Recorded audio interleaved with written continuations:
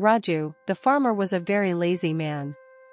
He had fertile lands, but because of his laziness, he cultivated crops only in a part of his land.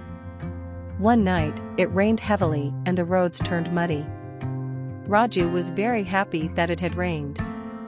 He was to water the crops the next day. However, because of the heavy rain, he did not have to water them as the crops got sufficient water. However, he wanted to assess the status of his fields after the rain.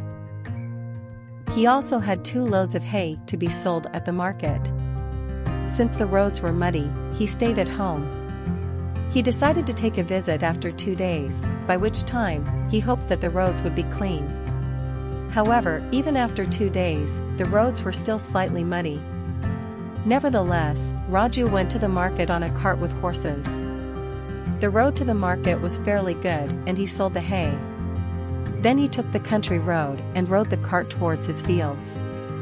But the road was uneven and muddy with stagnant water. Raju drove very slowly to avoid getting dirty. Unfortunately, for Raju, one wheel of the cart sank into the mire. He tried hard to move the cart and even pushed the horses to do so.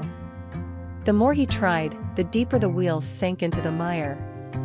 He got down from the cart to look at the sunken wheel and searched all around for any help. However, help was hard to find, as people rarely took the country road, and all of them preferred the market road, which was much better. Raju started to curse himself for taking the bad road. Suddenly dark clouds appeared in the sky and it appeared that it was going to rain. Raju lost his temper and started screaming, Hell, there is no one to help me. Suddenly, he heard a booming voice from the sky, Raju, no one will help you unless you try to pull the wheel out by yourself. Raju then realized that he had done nothing to pull out the wheel from the mire. Raju then removed the horses that were tied to the cart. He bent down and tried to pull out the wheel. After a few minutes of struggle, he gradually lifted the wheel from the mire. Supporting the cart with a shoulder, he pulled the wheel out. It was then Raju understood that he succeeded because he had tried. After that incident, Raju realized his folly and was a changed man.